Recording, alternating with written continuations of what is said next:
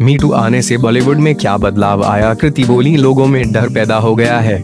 Me too आने से बॉलीवुड में कई अभिनेत्रियों ने आप बीती बात चुकी है। अब इस लिस्ट में एक ट्रेस, कृति सेनन का नाम भी सामने आया है। उन्होंने एक इंटरव्यू में बताया कि मीटू आने से बॉलीवुड में क्या बदलाव आया। इंडिया टुडे कॉन्क्लेव में कृति ने बताया कि मीटू मूवमेंट की वजह से बॉलीवुड में क्या बदलाव आया।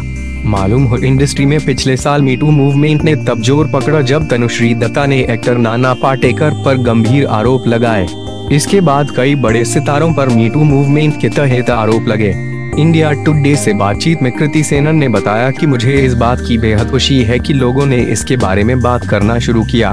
अपनी बात दुनिया के सामने रखने के लिए बड़ी हिम्मत चाहिए। अच्छा ये है, अब लोग बोल रहे हैं।